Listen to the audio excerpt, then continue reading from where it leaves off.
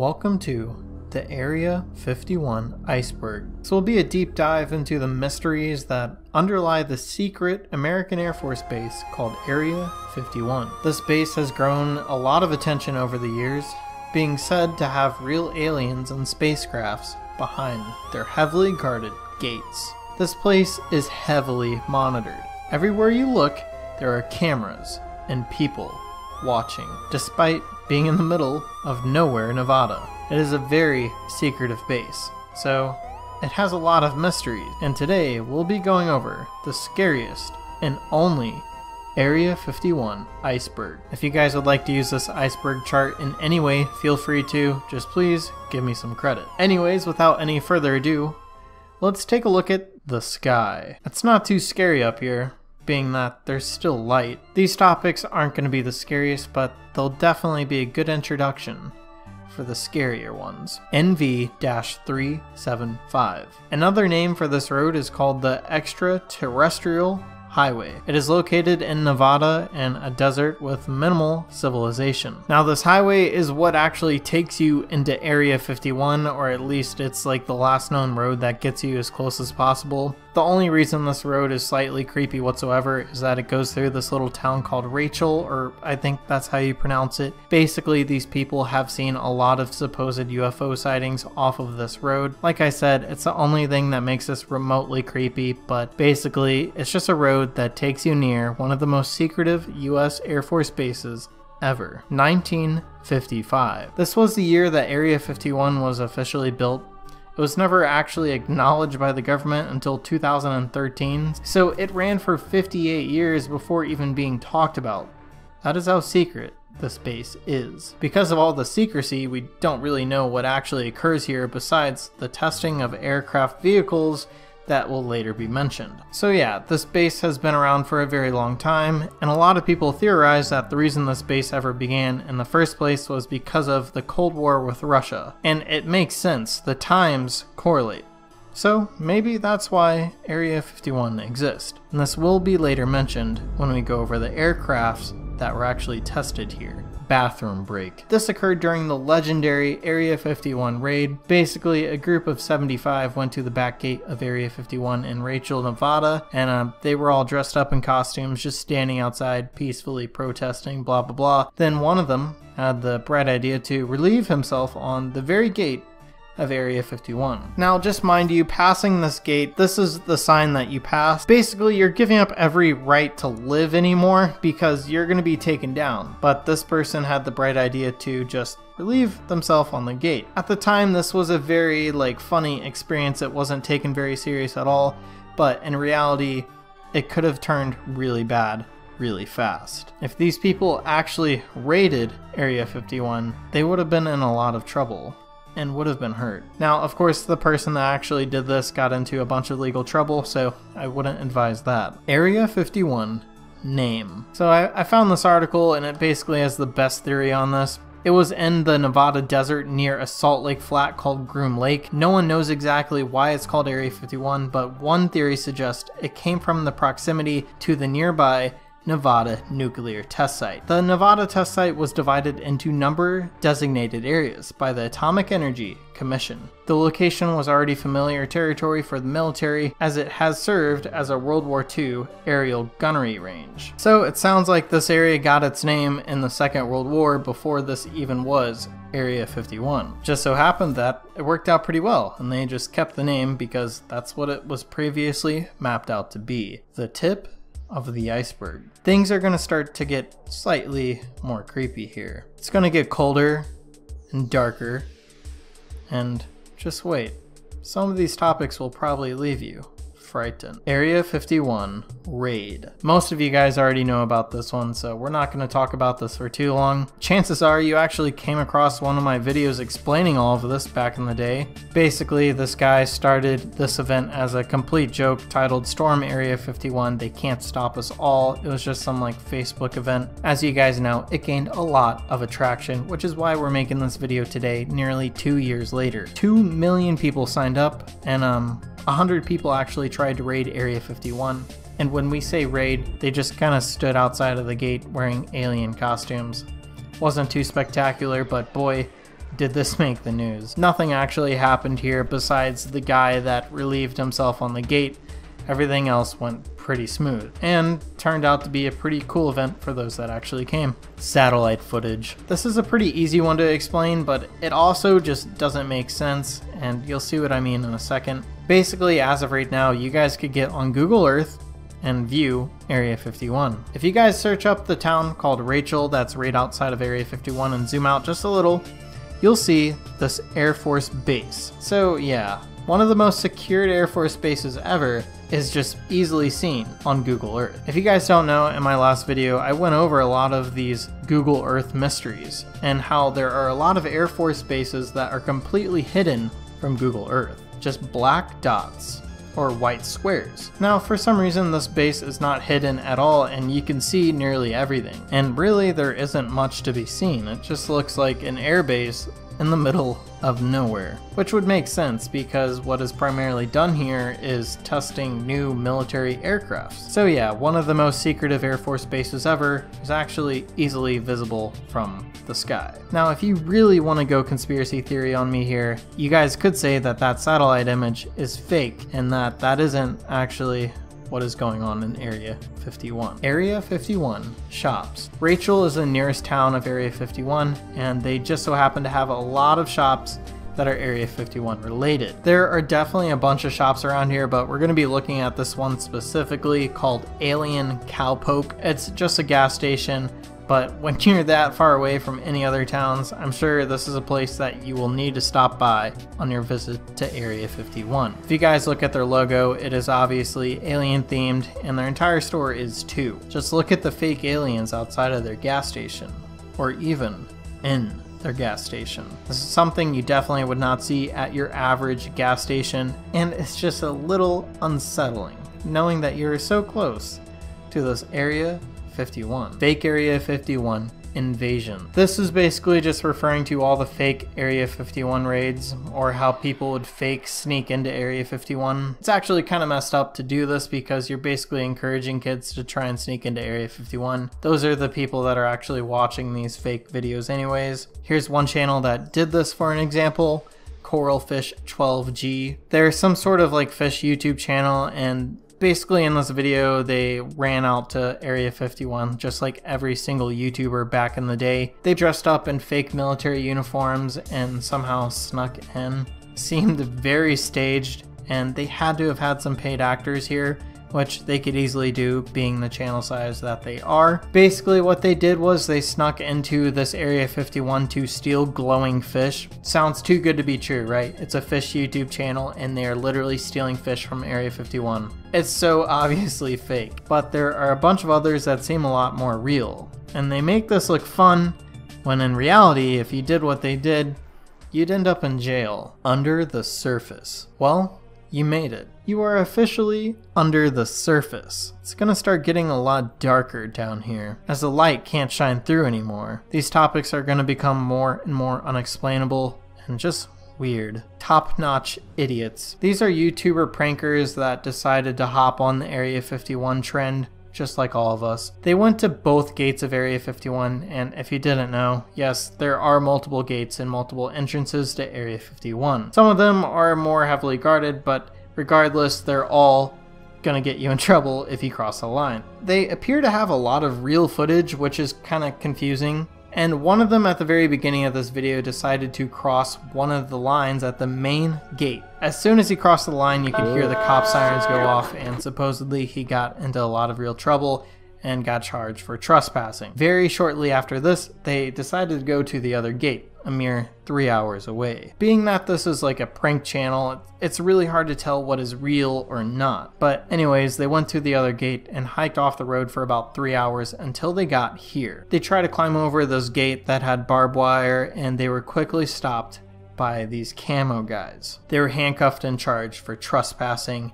and supposedly a lot of their footage was deleted. Seems pretty sus, not gonna lie. If you guys just look at this, that it doesn't even seem like something a cop would carry. It literally looks like some Nerf gun. I'm not really too sure what they're doing here. To be fair, it is just private security that are monitoring so it's kind of hard to tell if this part was staged or not. The actual actor does appear to be scared. He even zooms in on his hands here of him shaking to make you know that he's scared. So, not really too sure if this was real or fake or what parts are real and what parts are fake. Just overall odd to watch. Dutch YouTubers. So, right before the Area 51 raid, these guys had the bright idea to sneak into Area 51. But, like, actually, just before the raid, the security here was hyped up more than ever. So, wasn't the best time to do that. With the higher security, they of course got caught. They got three miles deep into the secured base somehow and then got arrested. Supposedly, the area that they're hiking through was actually one of these nuclear test sites, which probably isn't going to be good for their health, but Anyways, this is an article that I found that talked about this. The two pleaded guilty to trespassing and illegal parking, both misdemeanors. Nye County District Attorney Chris Arabia said they were sentenced to a year in jail, but that sentence was suspended, and the two spent a total of three days in the county jail if they paid the fine of $2,280 each on Thursday, when they were scheduled to be released. A 12. Full name of this is actually the Lockheed A 12 this is some sort of military aircraft that was tested in the Area 51. This was actually one of the reasons Area 51 ever became a thing, and its first flight was in 1962, but was quickly retired in 1968. The crazy part is that this aircraft wasn't even revealed until the 1990s, nearly 20 years later. This was some sort of reconnaissance aircraft built for the CIA, and this was a Mach 3 type aircraft basically just means it was really, really fast. 2,212 miles per hour was its exact top speed, and that is faster than bullets. That being said, this vehicle was being tested here, so it would come in and out, which may be the reason why there's so many alien sightings around this area. Cameras and mics. If you ever actually get the chance to get near Area 51, you're going to start to see these things everywhere and it's important to know what they look like. These are basically just cameras and mics and they surround the entire area, which is why people can't get across the border. They can't get too far when they have these cameras ready to view anything that moves. As soon as the camera sees something, sure enough, the security will come find you. Basically, the security of this place supposedly have control of these cameras, and if they see something that they can't see themselves, they can use these cameras to hear and see for them. Here are just a few examples. Every time we found real footage of people trying to enter Area 51, this is one of the first things that they notice. These things are literally everywhere, and if you go there and show your face, you're probably going to get into some trouble, because you're going to be documented committing this crime. The middle.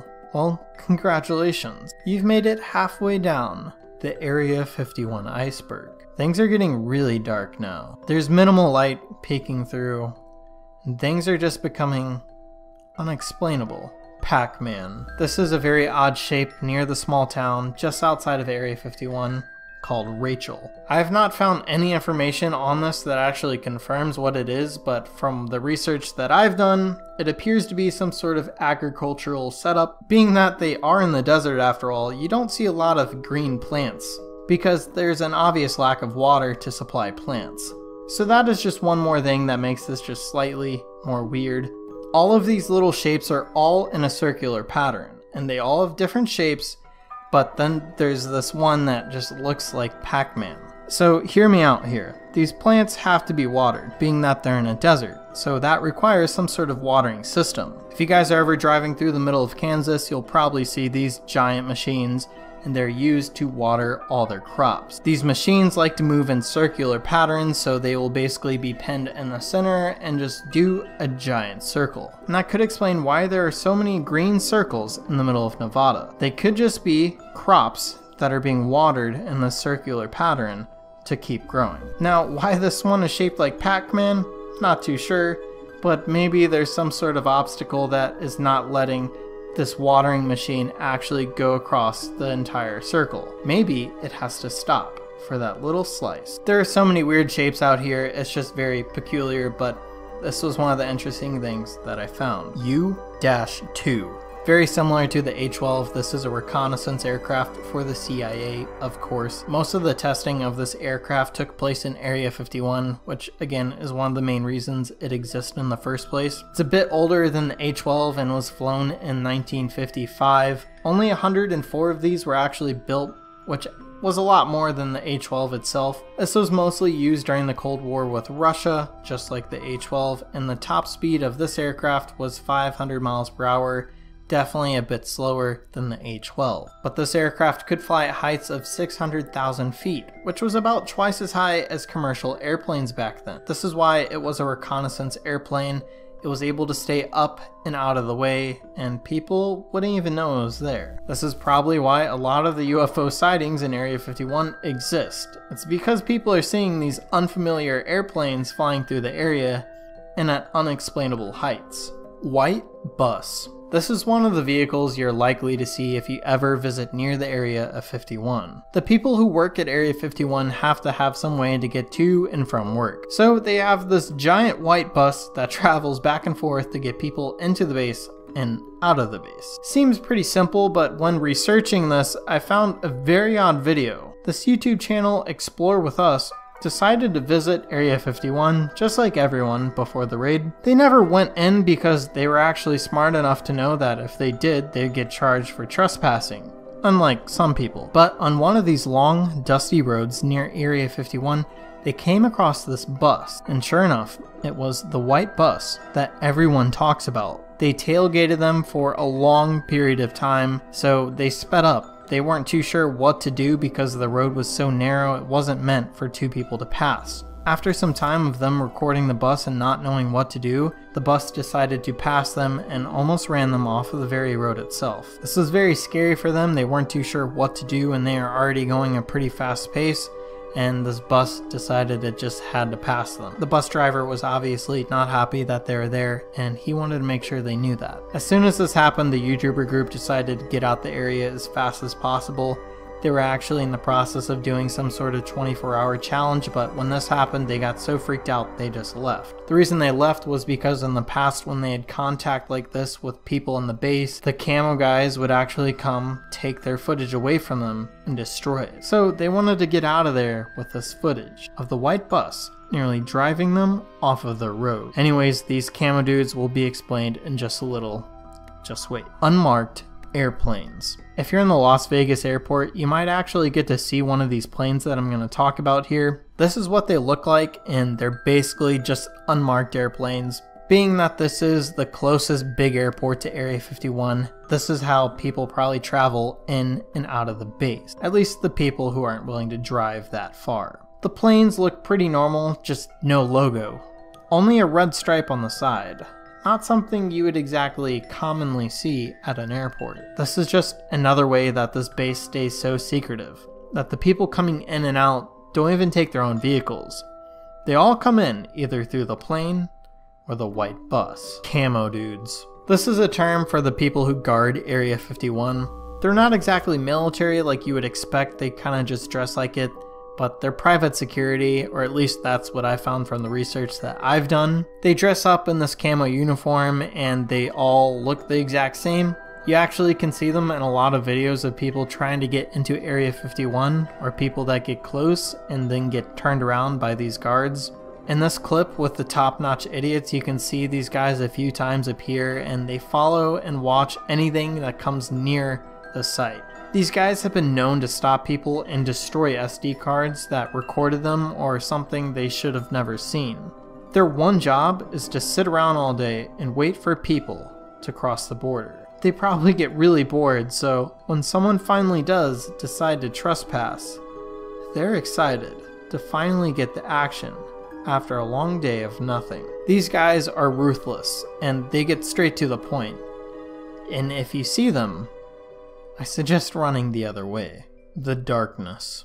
Well, you're just one step closer to the very last level of this iceberg. But for now, enjoy the darkness where there is minimal light, and things become just slightly more unexplainable. Aliens. So, we don't know much about Area 51, but What America has decided to state about this unknown military base is that the United States is hiding aliens here. With the lack of knowledge, we don't really know what goes on here exactly, but we have a few theories. In the small town of Rachel, citizens have had unexplainable experiences. They've seen a lot of things. They've seen aliens and UFO sightings, and it's the only way they can describe the things they see out there. In the middle of nowhere. There's a bunch of pictures of supposed UFOs, but they're all about as blurry as every Sasquatch photo you would ever see. Most of these alien encounters are assumed to just be people seeing the testing of new military aircraft, for example the U-2 or the A-12 back in the 1950s and 60s. Something to keep in mind, these were tested 20 years before they were ever even announced or talked about by the government. So what if they're testing stuff now with our current technology? That won't be explained for another 20 years. I mean, just imagine what aircrafts that we could make now if we could make planes that long ago that could travel the speed of a bullet. White trucks. So all the camo dudes drive these white trucks around. They used to drive these white Rams, but now they drive these white Ford Raptors, which are way more expensive, and if you didn't know, they're pretty awesome. Every single thing these guys use to travel appears to be white. Their trucks, the bus, and even the planes. They're all white. But back to the actual white trucks, these are very expensive. The average Ford Raptor starts at about $65,000. This isn't just a normal truck. These are designed to be able to catch up to you no matter where you are driving. And being that you're in the desert and off-roading, these vehicles are made to catch up to you no matter where you are. If you go near Area 51, I guarantee you, you'll see these trucks near the road and these are exactly what the camo dudes drive. If you're close enough to Area 51, you can begin to see these everywhere, possibly using these cameras and mics to spy on you no matter how far away you are. They've been known to chase people out of the area and destroy any footage that people have recorded of Area 51. The white truck is the last thing that you guys would want to see if you're anywhere near Area 51. Time travel. This is one of those theories of what goes on in Area 51. This all started with Bob Lazar, who was allegedly hired as some reverse engineer of extraterrestrial technology. He worked in an area in Area 51 called S 4, which was even more secretive than Area 51 itself. He claimed that he worked on an alien aircraft that was ran by some antimatter reactor powered by Element 115. Sounds familiar if you guys played Call of Duty Zombies, being that this Element 115 was what created the zombie apocalypse in the first place. He later claimed that the US government was working on time travel here, and supposedly they acknowledged the time travel existence, but they thought it was too dangerous to actually test on any further. This was all alleged. Nevada nuclear test. Now, this is all facts. It's not alleged like some of the other topics. Nuclear weapons were tested here and all around here actually. This is partly how we believe Area 51 got its name in the first place. Basically pre-World War II, the government made all of these test sites and they did a ton of nuclear testing here.